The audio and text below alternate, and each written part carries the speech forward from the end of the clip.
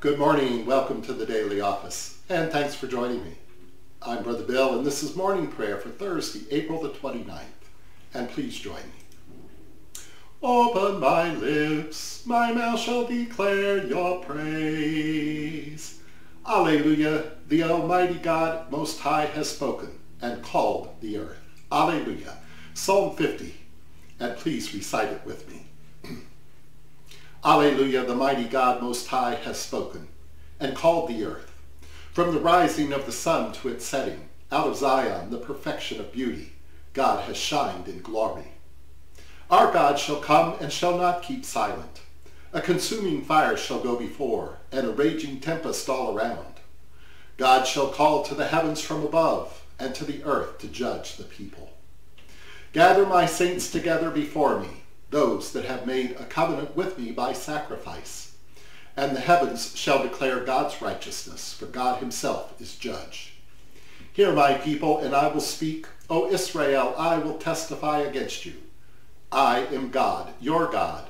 I will not accuse you for your sacrifices or your burnt offerings. They have been continually before me. I will take no bull out of your house, nor rams out of your folds. For every beast of the forest is mine, and the cattle upon a thousand hills. I know all the birds of the mountains, and the wild beasts of the field are mine. If I were hungry, I would not tell you, for the world is mine and all that is in it. I will eat. Will I eat the flesh of bulls, or drink the blood of goats? Offer to God a sacrifice of thanksgiving, and pay your vows to God Most High. And call upon me in the day of trouble. I will deliver you and you shall glorify me. But to the wicked God says, Why do you declare my statutes or take my covenant on your lips? Seeing that you hate instruction, cast my words behind you. When you saw a thief, you befriended him, and you have been a partaker with adulterers. You give your mouth to evil, and your tongue tells lies. You sit and speak against your brother. You slander your own mother's son. These things you have done, and I kept silence, and you thought that I was like you. But I will accuse you, and set my case in order before your eyes. Consider this, you that forget me, lest I tear you in pieces, and there be none to deliver. Those who offer praise glorify me, and to them that speak rightly I will show my salvation. Alleluia. Glory to you, source of all being, eternal Word and Holy Spirit, as in the beginning, so now and forever. Amen. Alleluia. Alleluia, the mighty God Most High has spoken and called the earth. Alleluia.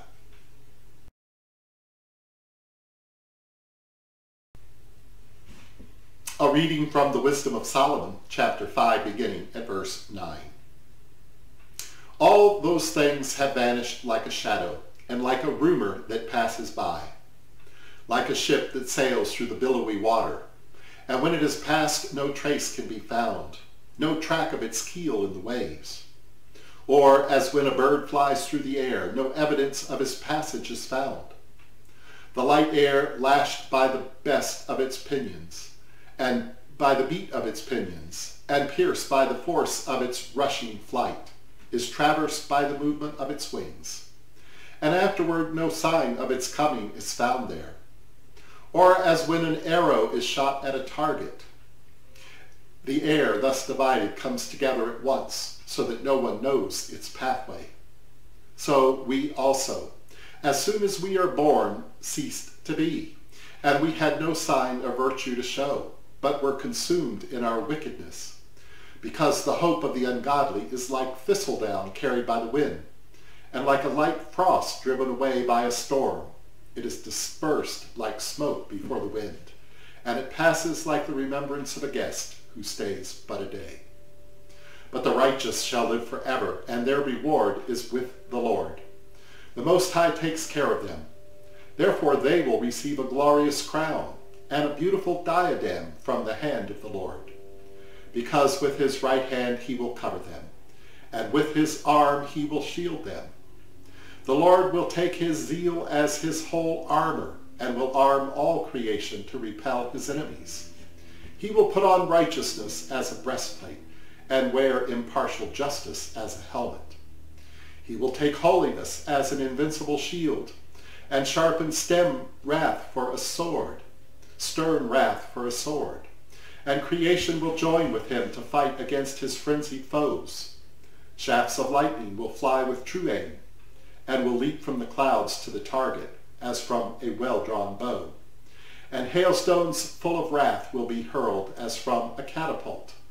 The water of the sea will rage against them, and rivers will relentlessly overwhelm them. A mighty wind will rise against them, and like a tempest it will winnow them away. Lawlessness will lay waste the whole earth, and evil doing will overturn the thrones of rulers. Here ends the lesson.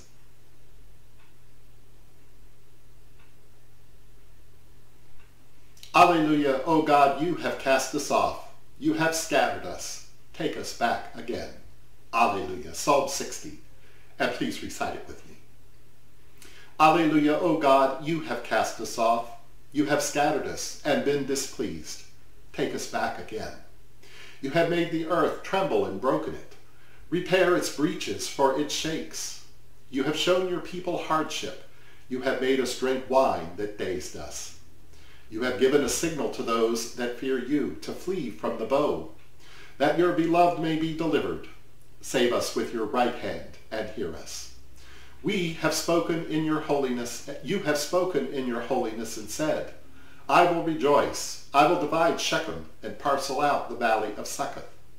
Gilead is mine and Manasseh is mine. Ephraim is my helmet and Judah is my scepter. Moab is my washbowl. Over Edom I cast my shoe. You triumph over Philistia because of me. Who will bring me into the strong city? Who will lead me into Edom? Will not you, O God, which had cast us off, and you, O God, which did not go out with our armies? Give us help from trouble, for vain is the help of mortals. Through you we shall do valiantly, for you shall tread down our enemies. Alleluia. Glory to you, source of all being, eternal Word and Holy Spirit, as in the beginning, so now and forever. Amen. Alleluia. Alleluia, O God, you have cast us off, you have scattered us. Take us back again. Alleluia. A reading from Paul's letter to the Colossians, chapter 2, beginning at verse 8. See to it that no one takes you captive through philosophy and empty deceit, according to human tradition, according to the elemental spirits of the universe, and not according to Christ. For in him the whole fullness of deity dwells bodily. And you have come to fullness in him, who is the head of every ruler and authority. In him also you were circumcised with a spiritual circumcision, by putting off the body of the flesh in the circumcision of Christ. When you were buried with him in baptism, you were also raised with him through faith in the power of God, who raised him from the dead. And when you were dead in trespass and the uncircumcision of your flesh, God made you alive together with him when he forgave us all our trespasses, erasing the record that stood against us with its legal demands. He set this aside, nailing it to the cross. He disarmed the rulers and authorities and made a public example of them, triumphing over them in it. Therefore do not let anyone condemn you in matters of food and drink or of observing festivals, new moons, or Sabbaths. These are only a shadow of what is to come, but the substance belongs to Christ.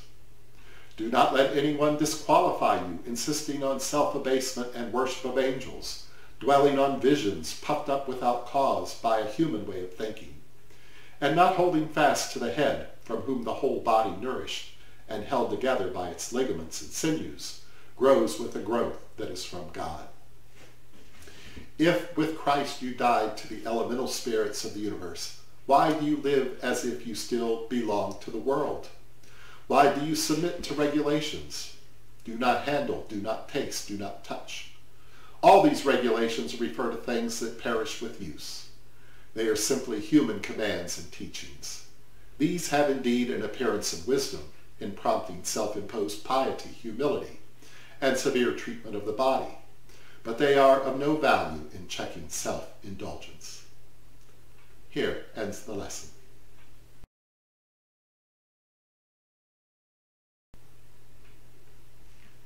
And now let us pray for the church in the world, for the mission of the church, that it may extend the peace and the love of Christ to all people. For Michael, our presiding bishop, for Jennifer Ann, our bishop, and for Brother Joe, our community servant, and for all of our church leaders and for all clergy and ministers, that they may be ever faithful servants of your word and sacraments. For unity in the church, that our scandalous divisions may be healed.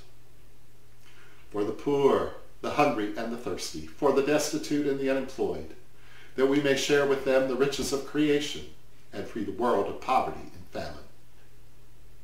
For Joe, our president, and Doug, our governor, and for all the leaders of this nation, city, and state, for the leaders of the nations of the world, that they may bring justice and peace in all the earth. That God, who's begun this ministry, may bring it to fulfillment. For those who are sick, especially Jerry. For those who died, especially Charles and Ron. For the Mercy of God community, for Brother Joe, Brother Tom, Brother Todd, Brother Richard, Brother William, Brother Max, Brother William, and all the Mercy of God associates.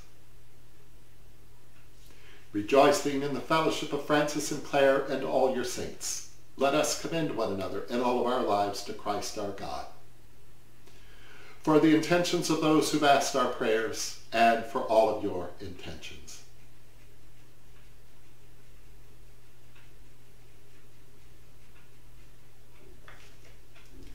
Our beloved which art in heaven, holy is your name. Your kingdom come, your will be done on earth as it is in heaven. Give us this day our daily bread. Forgive us as we forgive others. Lead us not into temptation, but deliver us from evil. For the kingdom, the power, and the glory are yours, now and forever. Accept our praises, we beseech you, Most High God, in thanksgiving for your loving kindness we honor you this morning and place our hope in your salvation. Never let us forget you. Guide us in your ways and strengthen us in our vows. In Jesus' name we pray. Amen. Alleluia, this is the day that God has made. Let us rejoice and be glad in it. Alleluia. And glory to God, whose power working in us can do infinitely more than we can ask or imagine. Glory to God from generation to generation in the church and in Christ Jesus now and forever. Amen. Alleluia and happy Easter.